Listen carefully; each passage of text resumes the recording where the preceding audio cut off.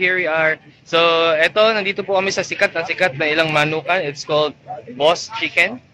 So, sikat na fried chicken nandito sa Jensen. And right now, it's already 9 o'clock. And if you can see the light, Wow! if you can see the sun, it's like 12 o'clock na sa Davao. Pero dito alas 9 pa yun sa kanila. And grabe, sobrang init. Pero, magmamano kami for today. And, come on, mga ali, mga unta.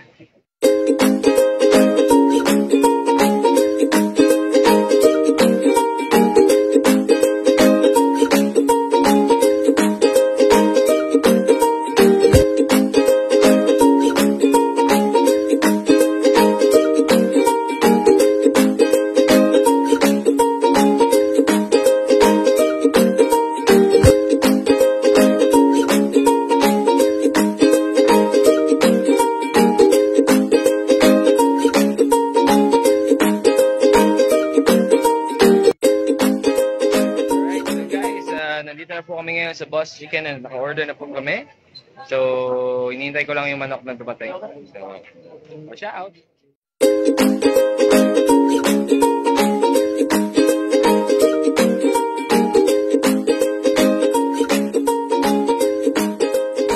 So guys, tignan niyo to. oh. Meron sila dito lumpia.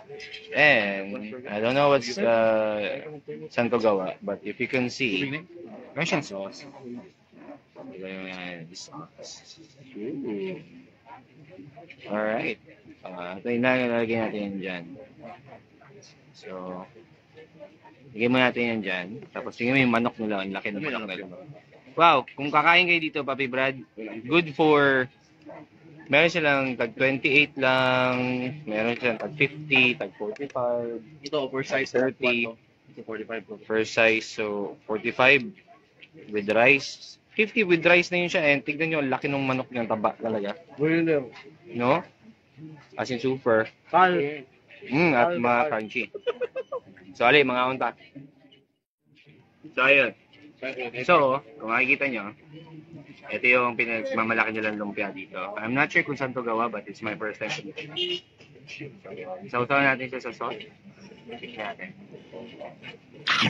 Hmm. Hmm. Okay. Wow. Ang sarap ng ubod nila. Parang, usually kasi ang ubod kay gina pabukalan. Tapos, gina pabukalan siya na matagal kasi maasin ito walang lasa. Parang ano, noodles ang loob. Gabi ka nipis. Nakikita niyo ah. Ayan, tignan niyo. I'm not sure kung nakikita niyo yan pero jump pack kayo siya. Mm. Very good. Tapos may kanin. Mm. Mm. Mm. Tasty yung, eh, dami yung ubod nila, no? Hmm, ano sila? Galit-galit. Galit-galit lang mga yan. So, dami yung ubod nila, promise. Try nyo, tagpila yung ubod. Size. Sabi sa is lang. Eh, ang haba niya na talaga. Hmm.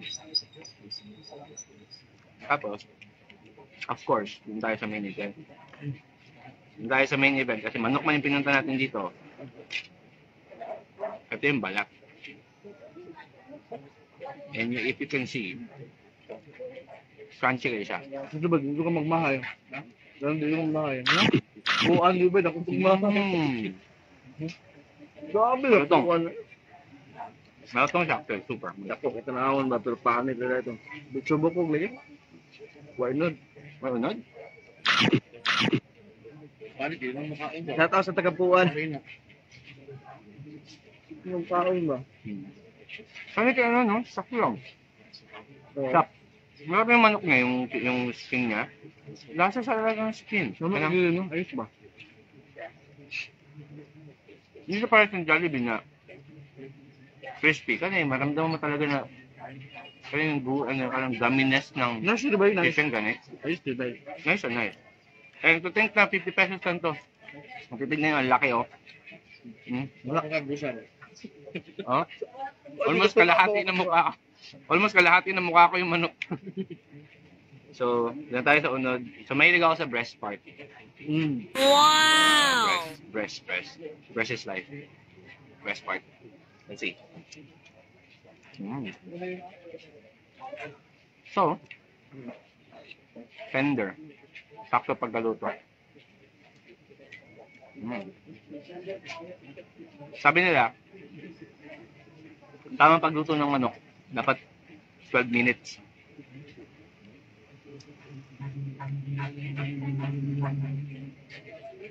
Dapat 12 minutes nakababad siya sa mantika na kumukulo. Para matanggal, matanggal ang kagaw and everything. So, this is something good. See you. Okay. Nahulog.